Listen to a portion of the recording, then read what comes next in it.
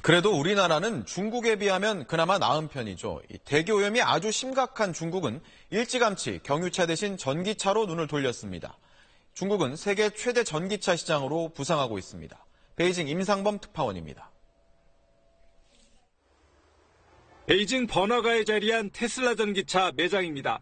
대당 가격이 1억 2천만 원이나 되지만 한 달에 10대 이상 꾸준히 팔립니다.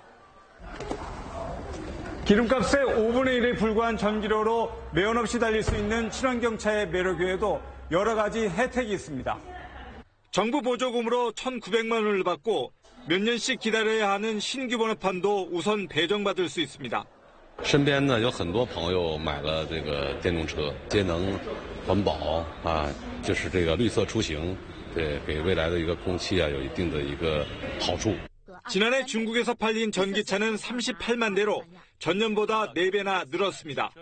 미국을 제치고 세계 최대 전기차 시장으로 급부상했습니다. 극심한 대기 오염에 시달리던 중국이 친환경 전기차로 눈을 돌린 건 지난 2009년부터입니다.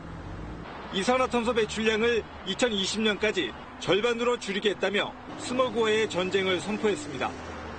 그리고 첫 조치가 휘발유나 경유 같은 화석연료 자동차를 전기차로 대체하자는 것이었습니다. 7년이 지난 지금 중국 토종 자동차 업체인 비아디는 세계 1위 전기차 회사로 올라섰습니다.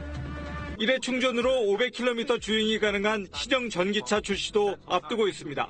五年前谈起新能源，啊，大家都很后怕。今天再谈新能源汽车，其实已经结束了。 중국 정부는 2020년까지 전기차 생산 연간 500만 대를 목표로 삼고 중국 전역에 충전소 15,000곳을 세울 계획입니다.